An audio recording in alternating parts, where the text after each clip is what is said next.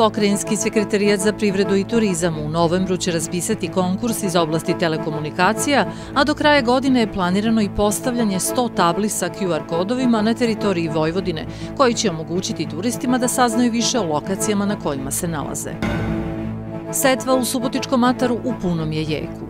Do kraja sledeće nedelje biće zasejano preko 90% od planiranih površina za setvu ozime strnine, kažu stručnjaci i ocenjuju da će ovogodišnja setva biti najskuplja u poslednjih 20 godina.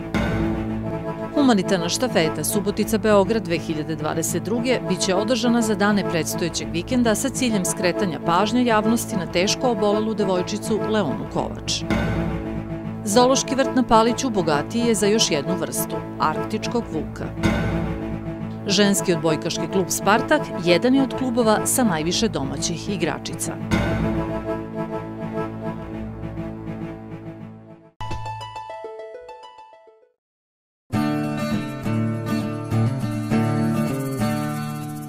Kade i tuš kabine vaših snova. Sve za vaše kupatilo. Vodovod i kanalizaciju na jednom mestu. Posetite salon kupatila Fontana. Čeka vas kupatilo vaših snova. fontana.rs ili 553 910.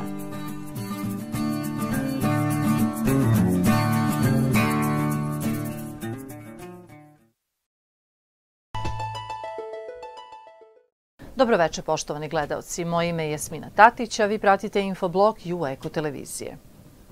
Pokrajinski sekretarijat za privredu i turizam u novembru će raspisati konkurs iz oblasti telekomunikacija, a do kraja godine je planirano i postavljanje 100 tabli sa QR kodovima na teritoriji Vojvodine koji će omogućiti turistima da saznaju više o lokacijama na kojima se nalaze. Narednog meseca pokrajinski sekretarijat će raspisati konkurs iz oblasti telekomunikacija za lokalne samuprave kojim će biti dodeljivana sredstva za ulaganje u besplatan internet na što više lokacija u Vojvodini. Pored toga, planirano je da do kraja godine bude postavljeno 100 tabli sa QR kodovima koji će omogućiti turistima koji se odluče da posete grad bez vodiča da saznaju nešto više o lokacijama koje posećuju. Danas kad govorimo o internetu, mislim da govorimo o osnovnom ljudskom pravu. Ja prosto ne mogu da zamislim kako bi izgledao dan ljudima da se probude ujutru i jedan dan nema interneta. Dakle, to više nije neki luksuz, nije neki hir. Hoćemo da u što većem broju opština i koliko će biti rasan u toku novembra, omogućimo potpuno besplatan internet za turiste koje dolaze. Nećemo mi određivati koja su to mesta, pozvaćemo lokalne samuprave da nam kažu koja su to mesta i mi ćemo nas dati lokalnim samupravama da to urade.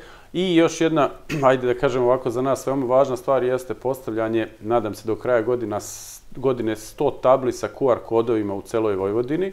Hoćemo da omogućimo što bržu razmenu informacija turiste i objekta kod kog je on došao. O ovoj i o drugim temama razgovarali smo sa pokrajinskim sekretarom za privredu i turizam Nenadom Ivaniševićem, a ceo razgovor možete pogledati u emisiji Info Plus koja će biti emitovana nakon Infobloka.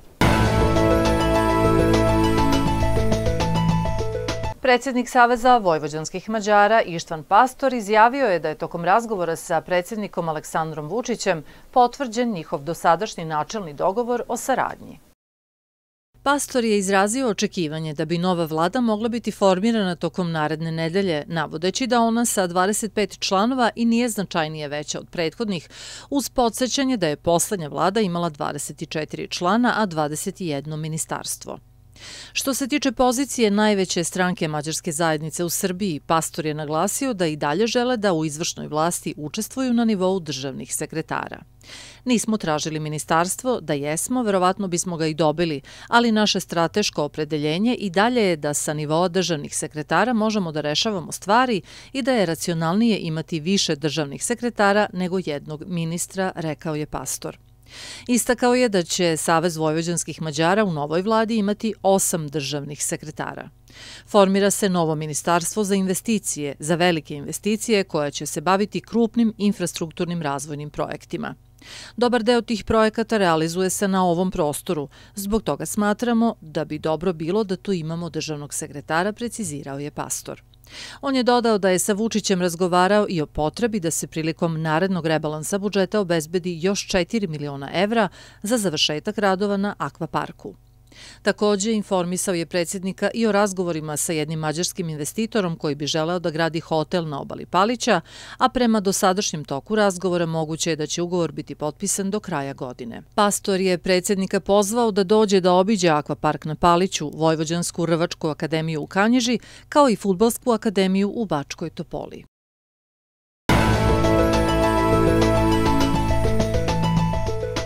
Setva u Subotičkom ataru u punom je jeku. Do kraja sledeće nedelje biće zasejano preko 90% od planiranih površina za setvu ozime strnine, kažu stručnjaci i ocenjuju da će ovogodišnja setva biti najskuplja u poslednjih 20 godina. Prema njihovim procenama, ratari će morati da ulože od 120 do 130 hiljada dinara. Razlog za verovatno najskuplju setvu u posljednjih 20 godina jeste drastičan porast cena mineralnih džubriva, koje su u odnosu na isti period prošle godine skuplja za 100%, dok je seme poskupelo za 80%, kaže Damir Varga, direktor Poljoprivredne savjetodavne i stručne službe Subotica. Pozitivna okolnost je možda to što u zemljištu je bilo dovoljno vlage, prinosi kukuruza nisu bili veliki, nije bilo puno žetvenih ostataka, tako da se na najvećem delu površina je obavljena redukovana obrada, što je ipak donekle smanjilo utrošak nafte i e, broj radnih operacija i troškova. Jel da se moralo orati i dva put pripremati, to ipak iziskuje neki utrošak od nekih 15 do 20 litara nafte i iziskuje možda jedan do dva radna dana više nego kada se radi redukovana obrada, a kažem, e, nije bilo potrebe da se radi oranje ove godine, jer, kažem, nije bilo žetveni ostataka, vlažnost zemljišta je bila povoljna, tako da se dosta duboko mogla obaviti redukovan obrada. Setva ječma, koja je na oko 4.500 hektara, uglavnom je okončana. Kako sagovornik navodi, u toku je setva pšenice, koja je zasejena na oko 16.000 hektara.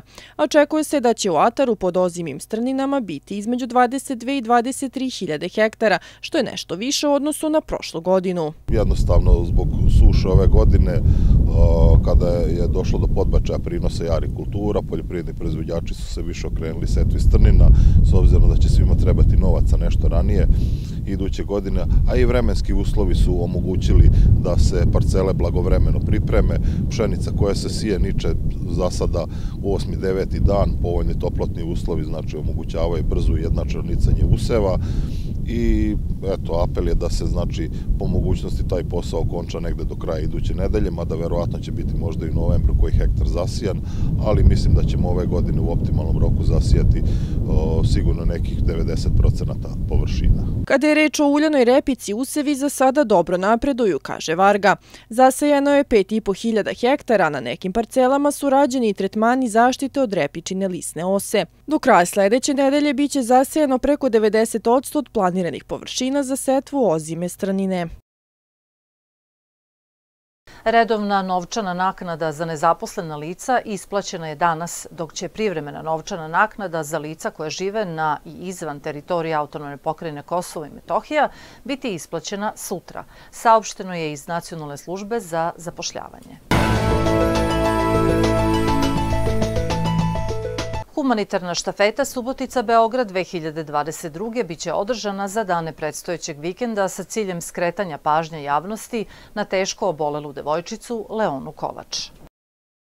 U ovoj humanitarnoj trci učestovaće sedam trkača koji će startovati u subotu 22. oktobra u 6 časova iz centra grada i trčaće do hrama Svetog Save u Beogradu.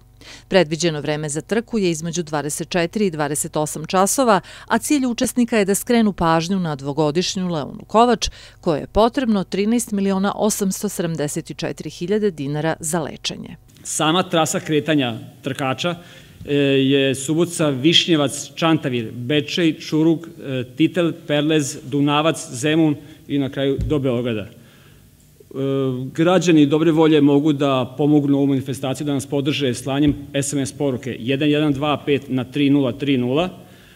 Isto tako, pravne firme, znači firme mogu da uplate sredstva na žiro račun.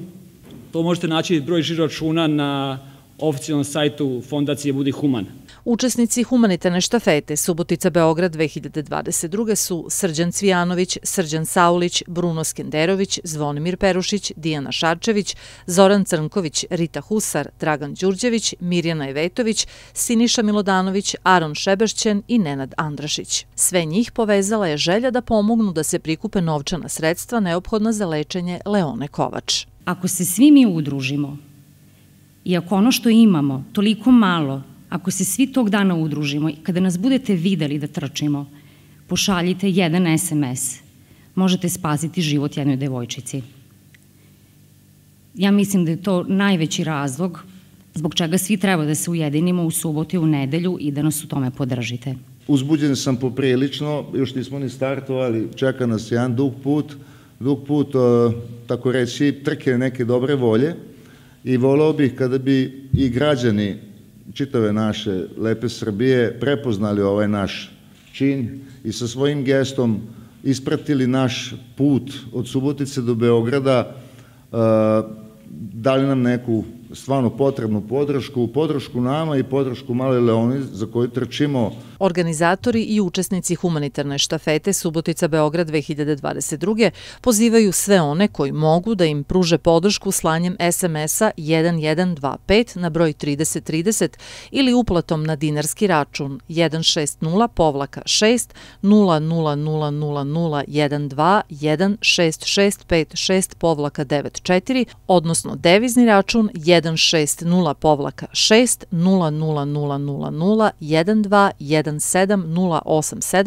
povlaka 62. Zološki vrt na Paliću bogatiji je za još jednu vrstu arktičkog vuka. Mladi par stigao je u svoj novi dom pre dve nedelje kao poklon Beogradskog zološkog vrta, a posetioci ih mogu videti u ispustu pored sivih vukova.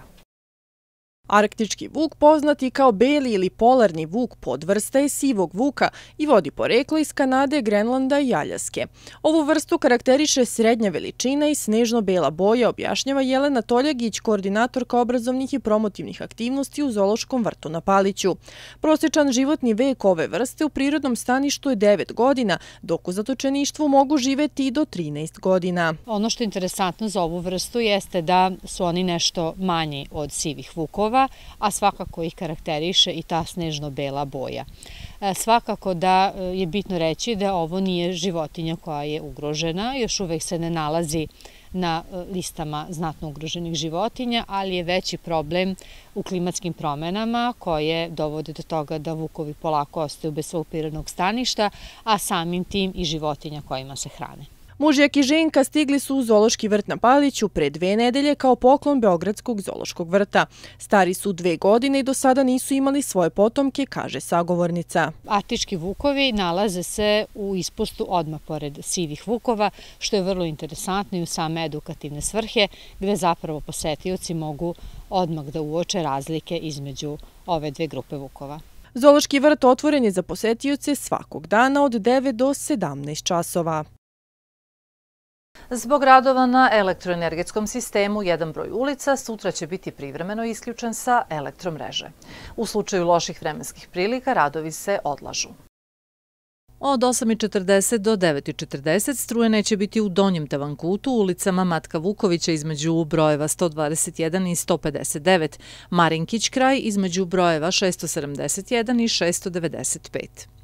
Od 10.40 do 11.40 strujene će biti u ulicama Josipa Klarskog, Marka Oreškovića, Butelin kraj, Rakić kraj sa Salašima u okolini. Od 9 do 14 časova u Gornjem Tavankutu, u Crnković kraju i delu Vuković kraja u okolini. Od 12.40 do 13.40 u Subotici u Lole Vohl između brojeva 49 i 63 i Karela Napravnika broj 17.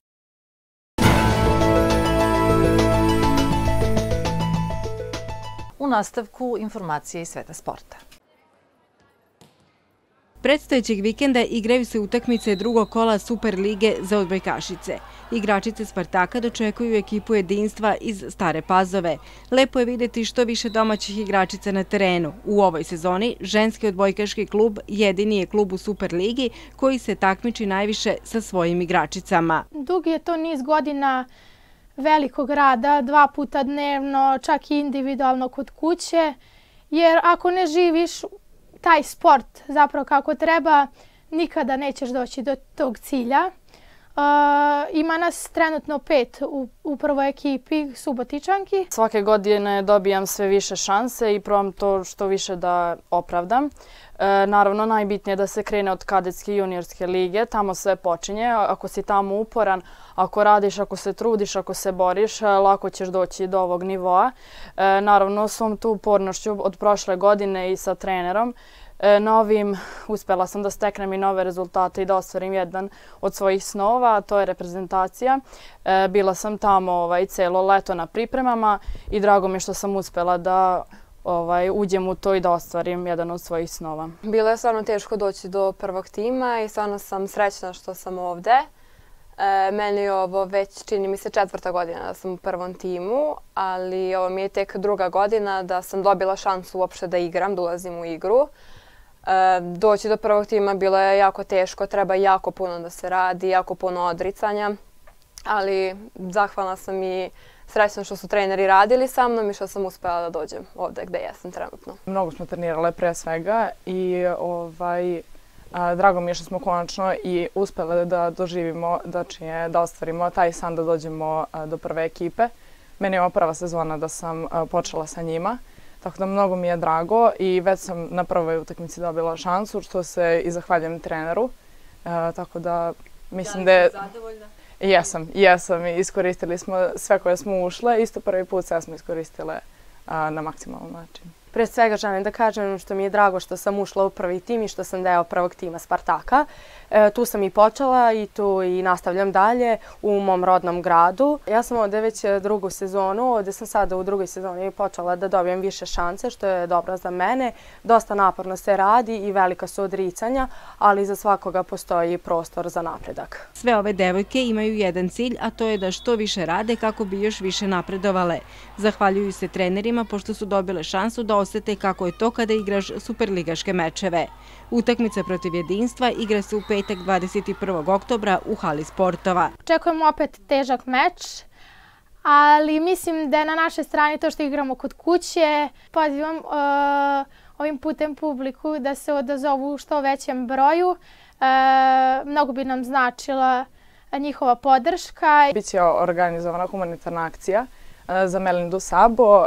Ulaz će biti besplatan ali će pored ulaza biti dve kutije, pa ko je voljen da da i koliko može. Od Bejkašice Spartaka pozivaju publiku da dođu u što većem broju i pomognu igračicama Spartaka kako bi ostvarile bolji rezultat. Sutrašnja utakmica igra se od 19 časova.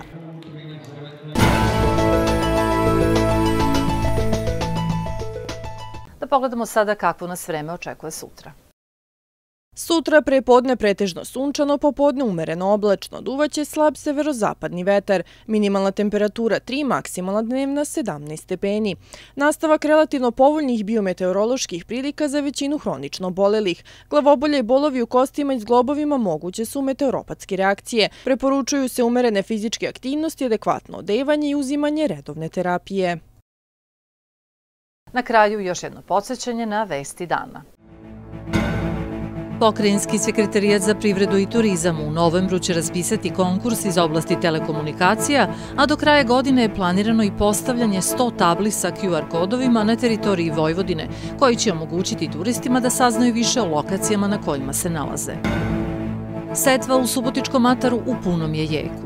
Do kraja sljedeće nedelje biće zasejano preko 90 od 100 od planiranih površina za setvu ozime strnine, kažu stručnjaci i ocenjuju da će ovogodišnja setva biti najskuplja u poslednjih 20 godina. Humanitarna štafeta Subotica-Beograd 2022. biće održana za dane predstojećeg vikenda sa ciljem skretanja pažnja javnosti na teško obolelu devojčicu Leonu Kovač. Zološki vrt na Paliću bogatiji je za još jednu vrstu, arktičkog vuka. Ženski odbojkaški klub Spartak jedan je od klubova sa najviše domaćih igračica. Bio je ovo infoblok i u Eko televizije. Hvala na pažnju, ostanite i dalje uz naš program.